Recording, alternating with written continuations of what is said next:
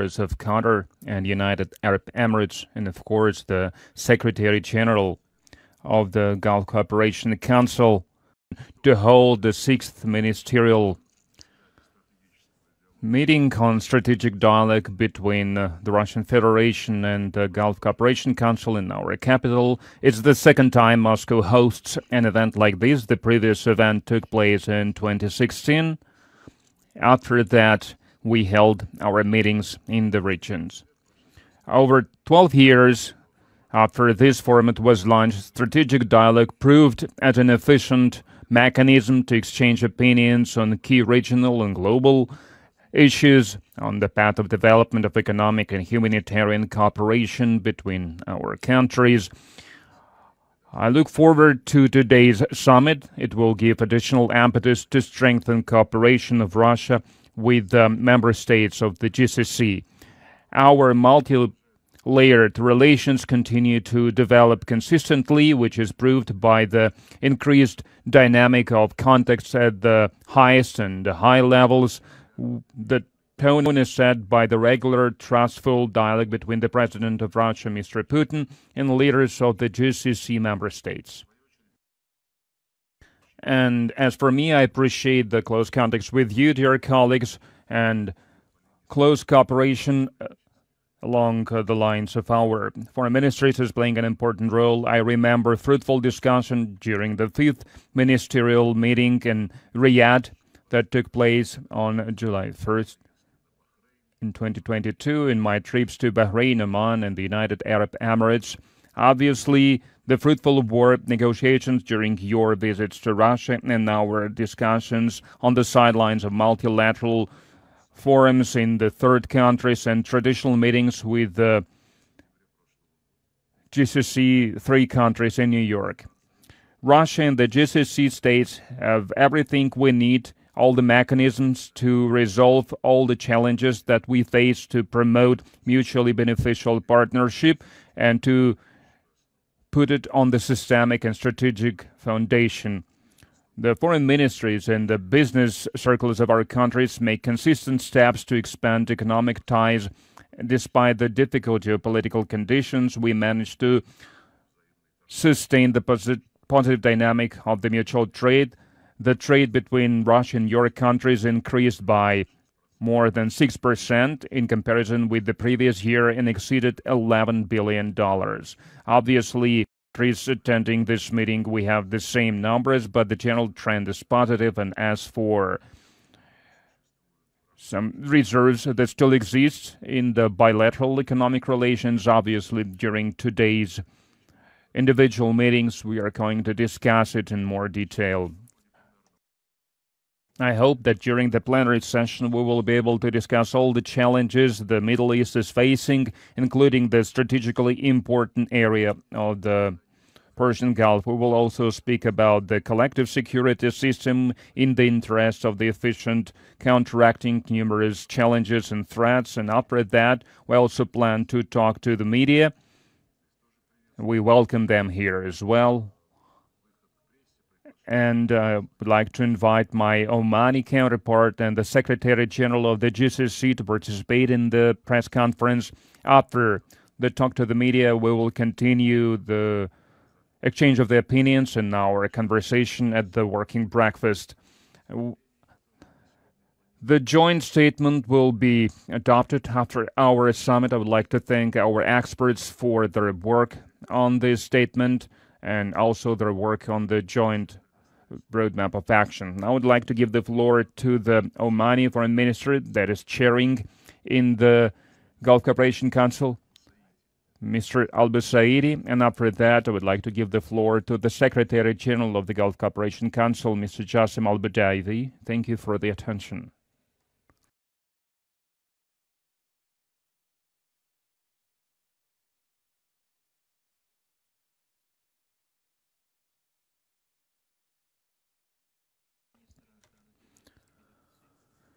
Esteemed Mr. Lavrov, Foreign Minister of the Russian Federation, your ministers, foreign ministers of the Gulf Cooperation Council member states, Dear Mr. Secretary General of the Gulf Cooperation Council, everyone attending, I would like to greet you all. And in the beginning, Minister, I would like to thank you for your greetings, for your introduction. And to explain Moscow today, we hope that this summit will make contribution to the deepening of mutual understanding between us on various matters and various topics, and it will consolidate our bilateral relations in all areas and in all fields in economy and politics and in culture. We will be able, we will be able to talk about the climate change issues, renewable sources of energy, and other global issues of mutual interest. The member states of the GCC highly appreciate the position and the efforts by the Russian Federation in regards of the Palestinian issue, and we would like to reaffirm the central role of this issue and strategic importance of its resolution. It's one of the main problems that cause instability in the region.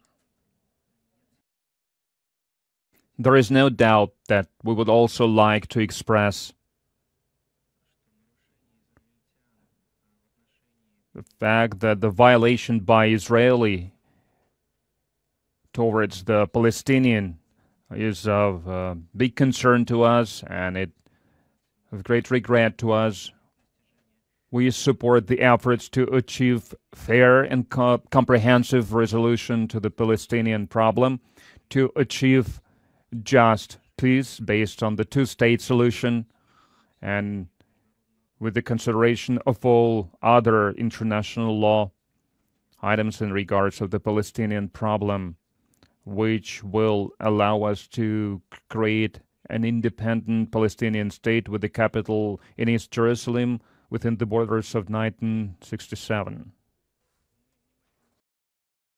We are monitoring closely the developments in Sudan, in our brotherly Sudan, and we express our deep concern regarding the humanitarian situation there and the security crisis there. We reaffirm our position that it is important to use dialogue to resolve all crises, to join our efforts and to unite the Sudanese people to preserve the statehood and to resolve the conflict without any interference from the outside.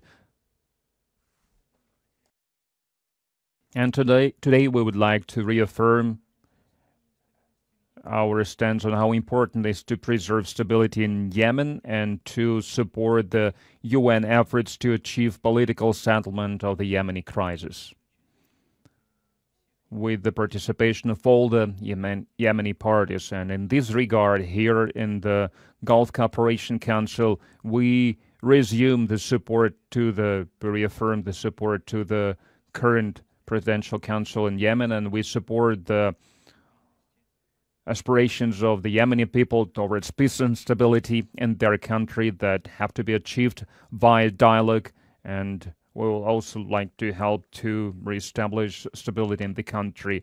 The continuing conflict in Ukraine is a challenge towards peace and security. We believe that there should be a peaceful solution to this conflict, and we reaffirm the importance of resolving the conflict by dialogue based on international law with the consideration of the interests of all the parties and the principles of the good neighborliness, uh, sovereignty, and independence of the country, of the countries. The GCC is also supporting every effort to achieve peace. We are willing to build bridges of cooperation and dialogue between interested parties to achieve peace and to restore the stability and prosperity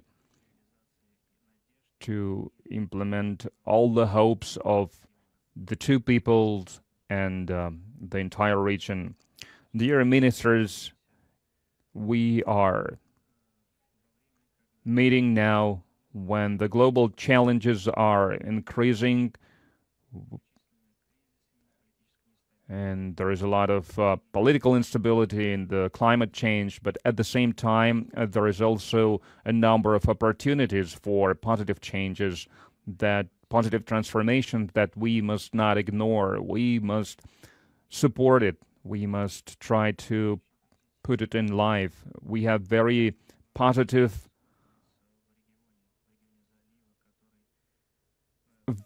vision of what is happening in our region, in the Gulf region. We held a successful expo in Dubai, World FIFA World Cup in Qatar, in Saudi Arabia is hosting the Formula One competitions and other major international events, and the UAE is preparing to host conference on the on climate COP28 that is going to take place in November in Dubai.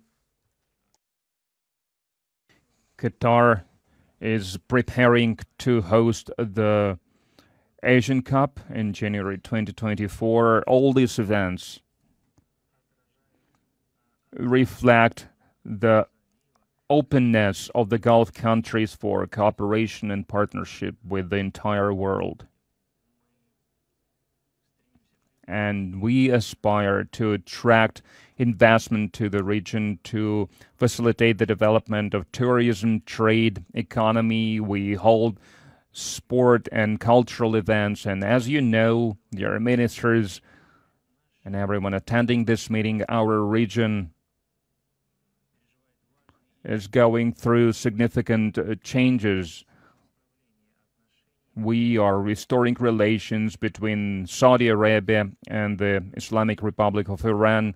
Iran is our neighbor, a neighbor of all the GCC member states. We lived shoulder to shoulder next to the Iranian people historically for centuries.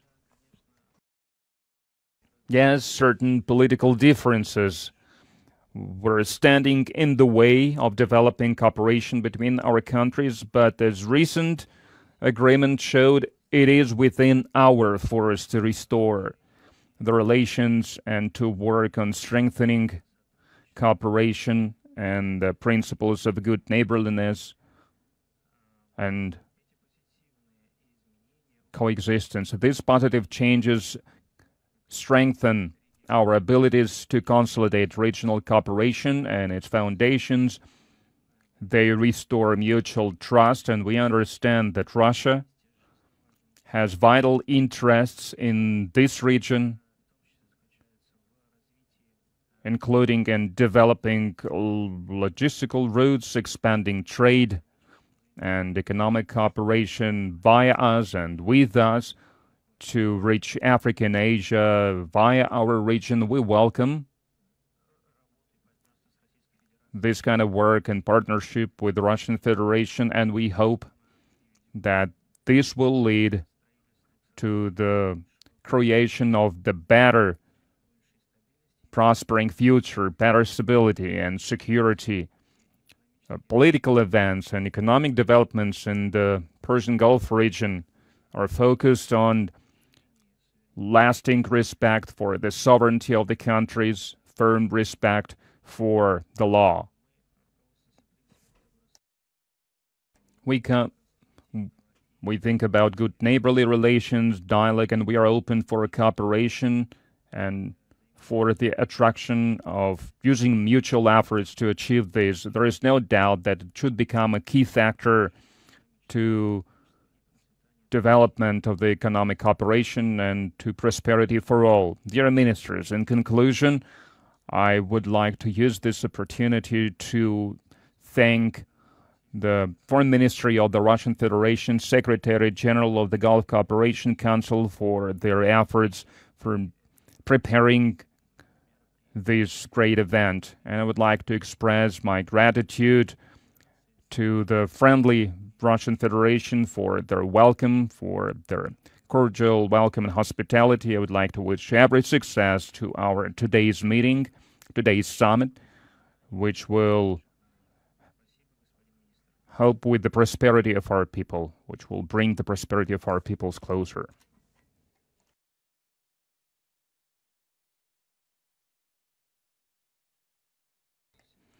In the name of Allah Almighty and Merciful, dear ministers, Minister Sergei Lavrov, dear ministers of the GCC member states, everyone attending this meeting, I would like to greet you and I would like to start by thanking the government of the Russian Federation, our friendly Russian Federation for their welcome and hospitality. I would like to thank my friend, the Foreign Minister of the Russian Federation, for his personal attention that he is paying to us today during this event, which reflects the great relations between our Russian friends and the Gulf countries, everything that is connecting the Gulf with the Russian Federation, historical ties and relations, is the result of the efforts by both parties to ensure that this goal will be possible. Also, within the context of this ministerial meeting, it is already the sixth meeting on the strategic dialogue between the GCC member states and the Russian Federation. And we are implementing the instructions given to us by the leaders of the Gulf countries.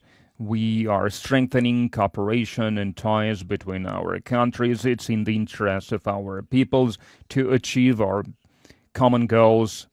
Dear ministers, there is no doubt that our today's event is taking place at the crucial time for the entire world when we can see the events unfolding that are viol- violating, disrupting stability and peace across the globe, we see how important it is to resolve the problems via negotiations, via dialogue with diplomatic means. We reaffirm also our respect to the sovereignty of the countries, to the international law, and all the norms, all the international norms that help to preserve stability in the world. Dear ministers, the main testimony to the great relations between our countries is the memorandum of strategic cooperation signed between the GCC and the Russian Federation in 2021. The relations between Russia and the GCC are strong. We are keeping it strong for in the interest of the people of our countries, and we plan to continue to strengthen our cooperation to pursue our common interests. Dear ministers, today we are not talking about some concrete fields of cooperation. All the fields are vital to promote dialogue between us trade, economic cooperation, security cooperation, energy, political dialogue, all these fields are important. There are other important areas where we intend to continue cooperating, such as cooperation in education and culture, to familiarize ourselves with the culture of our countries. These component of our cooperation is also very important and additional contribution to our general cooperation. I'm, I'm happy to say today that our relations are developing. We cooperate greatly within the OPEC Plus format that helps to stabilize the markets and stabilize the energy prices. And we reaffirm how important it is to adhere to the agreement assumed by obligations assumed by all the parties to, for the global economy, for the interests of suppliers and of consumers. Dear ministers, there is no doubt that the Russian Ukrainian crisis influenced, had an impact on the entire world. And since the start of this crisis, GCC countries were standing, were making suggesting an initiative to bring countries closer together. We were making trips, we were holding meetings with the representatives of the both parties, and we are confident that the solution must be peaceful. Otherwise, it will have a negative impact on the general situation and stability across the entire region. That's why we would like to reaffirm the position of the Gulf Cooperation Council in regard to this crisis. The GCC stance on the Russian Ukrainian crisis is that it must be resolved based on the UN Charter and international law with respect to the sovereignty of the countries, to the preservation of their territorial integrity and non-interference in their domestic affairs. The GCC member states shares all the efforts aimed at resolving the crisis via dialogue the humanitarian aspect of this crisis is of vital importance.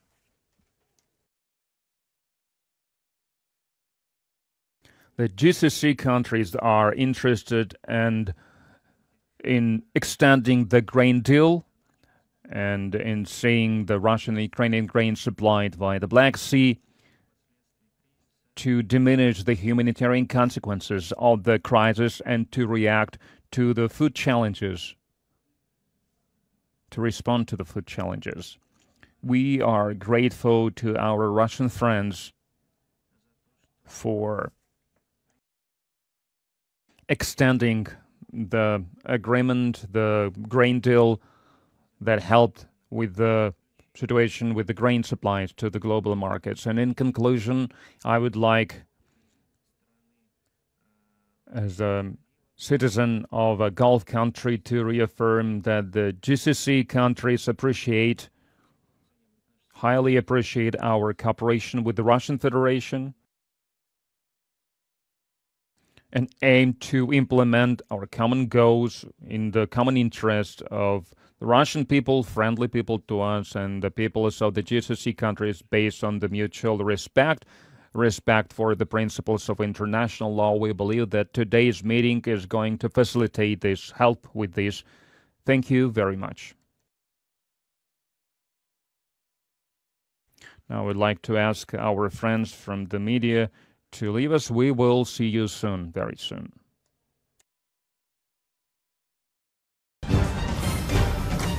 Afrique Média. Le monde, c'est nous.